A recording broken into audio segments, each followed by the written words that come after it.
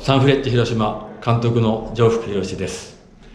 ファン、サポーターの皆様には、サンフレッチ広島への熱いご支援、心より感謝申し上げます。リーグ開幕戦を勝利で飾って以来、長くお待たせしています。延期延期が続く中でも、選手たちは体調もモチベーションもしっかりと保っています。皆様、お一人お一人が、お仕事も生活も大変な状況とお察しいたします。心よりお見舞い申し上げます。どうぞコロナに感染することなく、お元気にお過ごしいただければと存じます。サッカーに大きな歓声を上げていただける時が必ず復活します。